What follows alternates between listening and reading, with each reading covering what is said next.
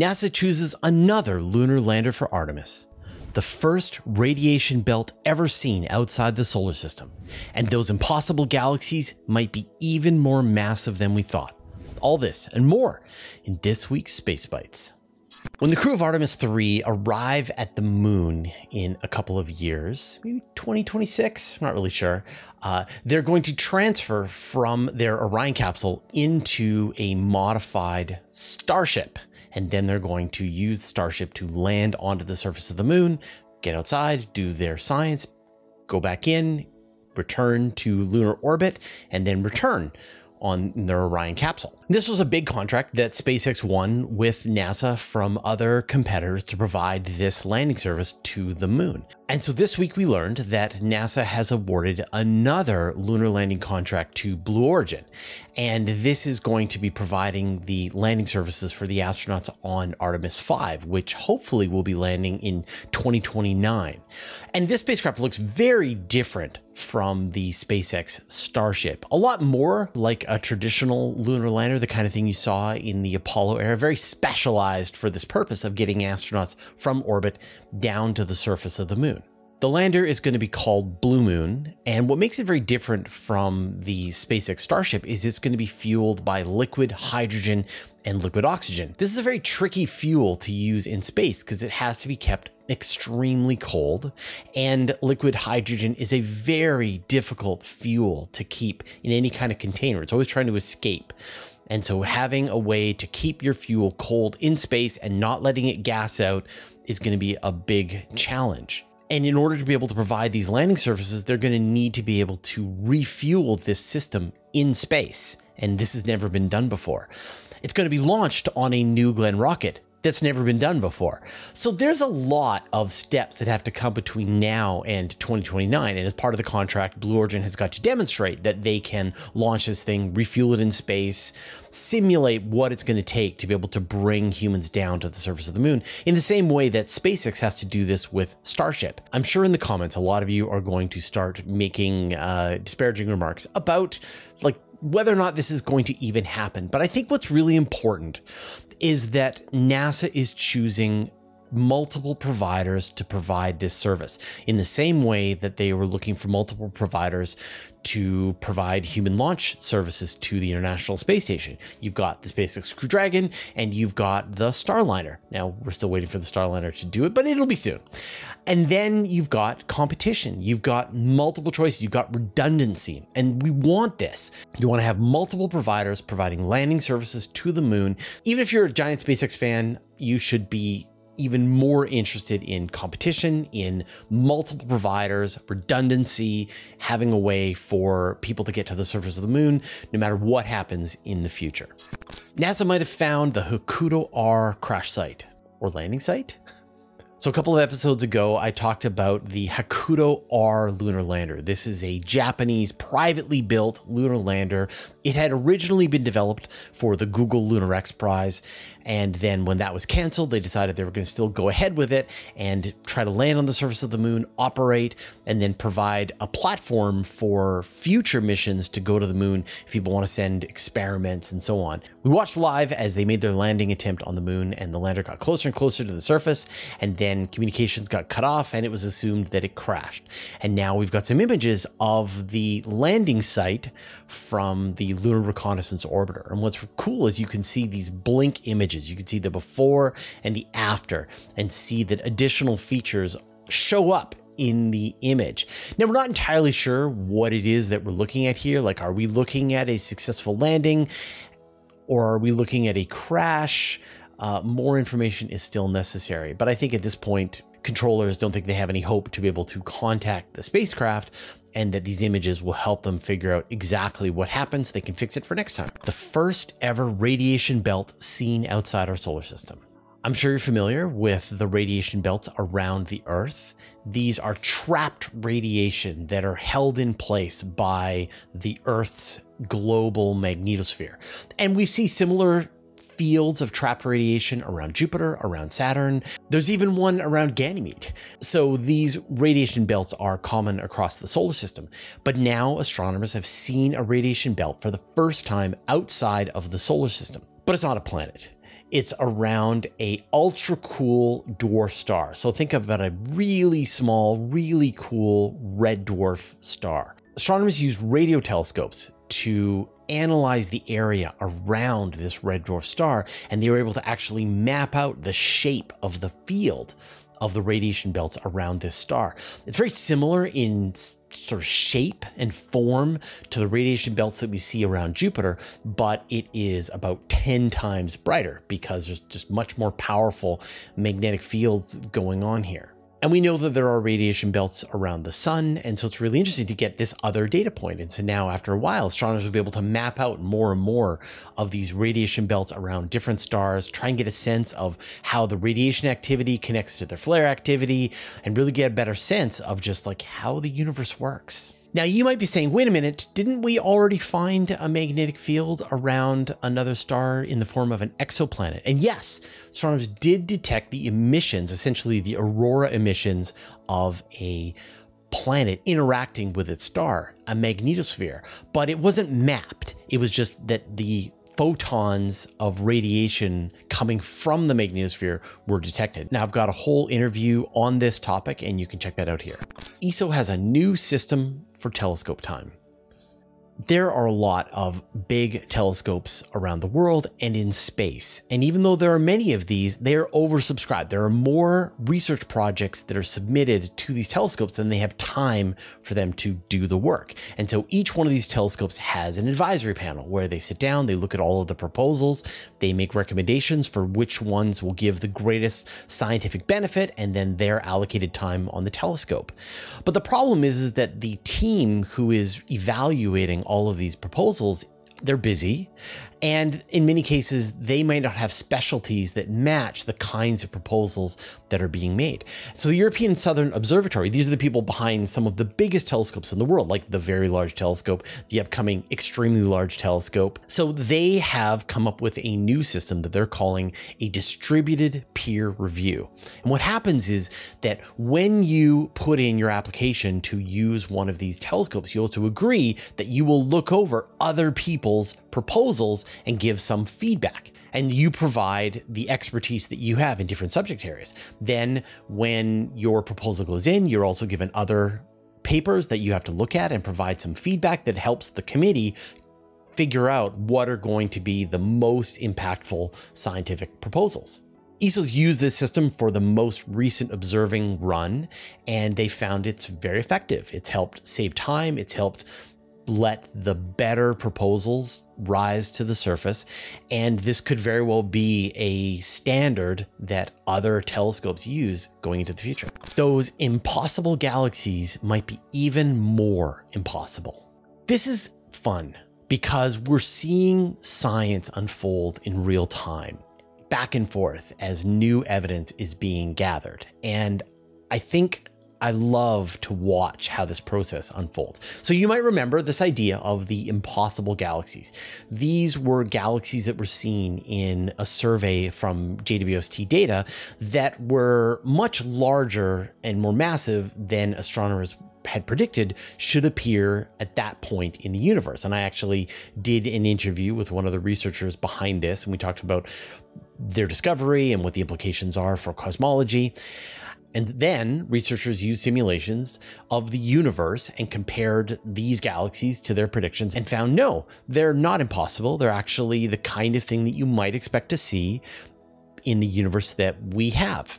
Well, now researchers have evaluated these galaxies more carefully and found that they might be even more massive than originally believed, possibly 10 times more massive. So, what they did was they selected five really interesting galaxies from the survey, and they wanted to figure out are these individual galaxies that are just extremely massive, or are they a collection of galaxies, a cluster of galaxies where it's just so far away that you can't tell whether or not it's a galaxy or a cluster of galaxies? They examined each pixel of the image and found that it was more likely that they were looking at individual galaxies and not cluster of galaxies. And that meant that these galaxies really were massive, even more massive than had been originally estimated. But the problem is that these galaxies are right at the limit of what JWST can observe. They're going to need more gravitational lensing, where you've got very massive galaxy clusters in the foreground that are lensing background galaxies, providing more magnification. So you really can estimate the size and shape of these galaxies properly. And again, this is really exciting. Like, yeah, you're going to hear us go back and forth. Oh, they're small. Oh, they're large. Oh, they're small.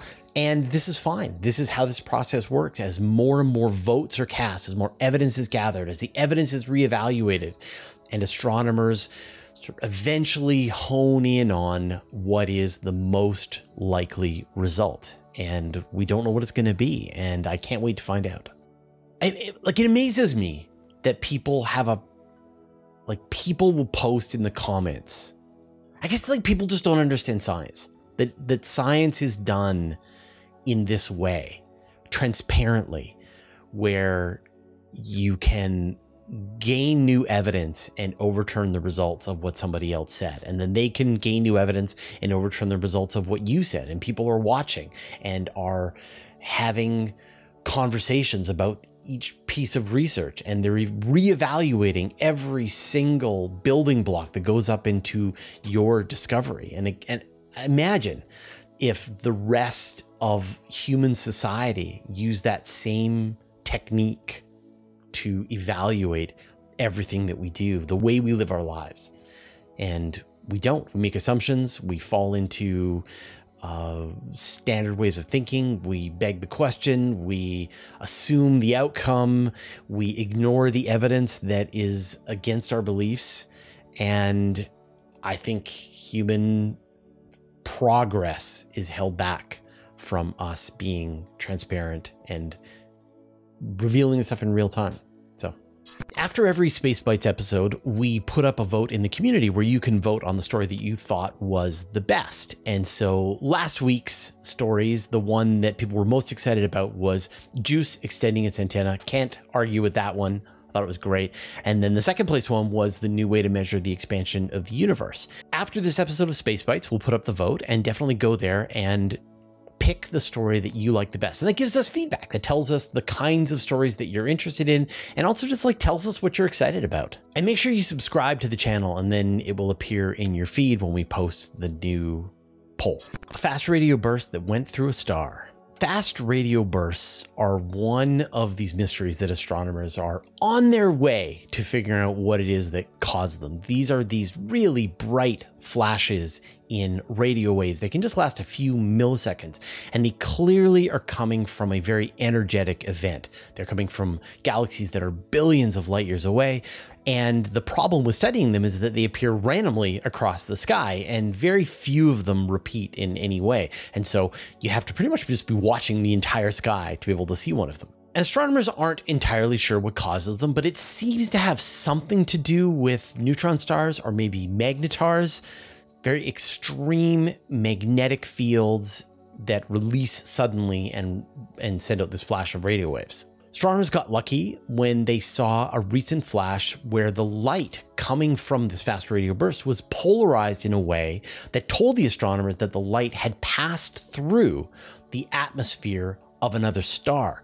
And this might be a clue to what's causing them they're able to see that the source of this fast radio burst is in some kind of binary system where you have a magnetar, a very extreme neutron star with these magnetic fields, was in orbit around a star. And then somehow the interactions between the star and the magnetar were the cause of the fast radio burst. Fast radio burst blasted off, went through the atmosphere of its binary companion, and astronomers were able to see it here on Earth. And so this might be one really important clue to get to the bottom of what is causing these fast radio bursts. As you're watching this episode of Space Bites, I'm sure you have questions. a lot of astronomy, a lot of cosmology, a lot of space flight.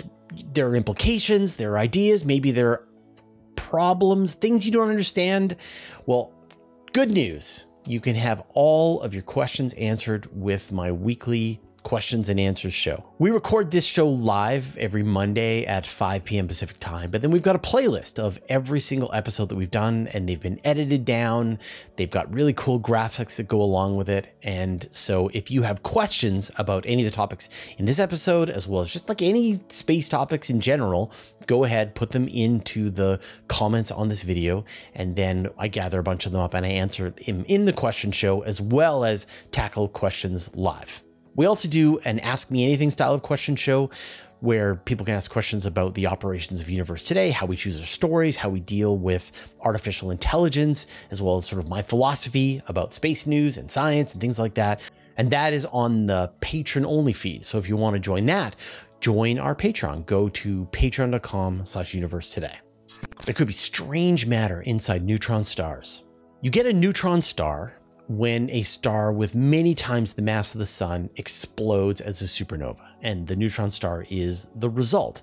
But the size of the neutron star depends on the mass of the star itself. And if it's a really massive star, you don't get a neutron star, but you get a black hole. And so there's this like spectrum of neutron stars from the least massive neutron star to the most massive neutron star. And it's believed that when a neutron star gets even more massive, it will collapse into a black hole. And now researchers are proposing that the most massive types of neutron stars ones that are right on the edge of becoming a black hole actually have layers inside of them, like onions or ogres. And so on the outer part of the neutron star, you have the neutrons, where the protons and the electrons are smushed together with so much force that they turn into neutrons. But there's even more force inside the star. And so it's believed that then this additional force breaks apart neutrons into their component quarks. And so you have this soup of quarks, of strange matter inside the neutron star. And this core could be one kilometer wide across of like a soup of quarks and a little more mass coming into the neutron star and it fully collapses into a black hole. A polar cyclone on Uranus. Uranus takes 84 years to orbit the sun and it is flipped over onto its side. And when you think about sort of the orbital dynamics of it, that means that we only get a chance to see, say, the North Pole of Uranus once every 84 years. The last time we were able to see the North Pole of Uranus, radio telescopes were in their infant stages. Like this was back in the 40s. So now we have enormous arrays of telescope, worldwide collections of telescopes that are able to turn and watch Uranus.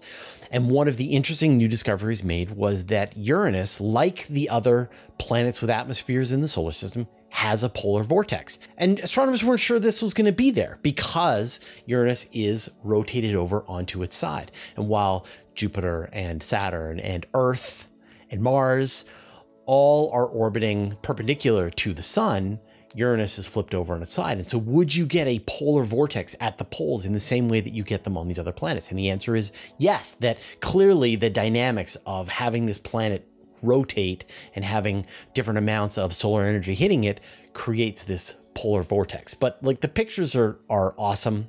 And it's really cool to see that even a planet that is so bizarre still has some familiar features. And it just like another reason we need to send a mission back to Uranus. All right, those are all the news stories that we had today. If you want to dive deeper into any of them, we have links in the show notes down below. You can get even more space news in my weekly email newsletter. I send it out every Friday to more than 60,000 people. I write every word, there are no ads, and it's absolutely free. Subscribe at universetoday.com slash newsletter. You can also subscribe to the Universe Today podcast. There you can find an audio version of all of our news, interviews, and Q&As, as well as exclusive content. Subscribe at universetoday.com slash podcast or search for Universe Today on Apple Podcasts, Spotify, or wherever you get your podcasts. A huge thanks to everyone who supports us on Patreon and helps us stay independent and keeps ads at a bare minimum. Thanks to all the interplanetary researchers, the interstellar adventurers, and the galaxy wanderers. And a special thanks to Just Paul Davis, Vlad Shipplin, Jay Dennis, David Giltonan, Modso, George, Jeremy Mattern, Jordan Young, Tim Whalen, Dave Verbeoff, Andrew. Gross, and Josh Schultz who support us at the Master of the Universe level. All your support means the universe to us. All right, that was all the news that we had today. We'll see you next week.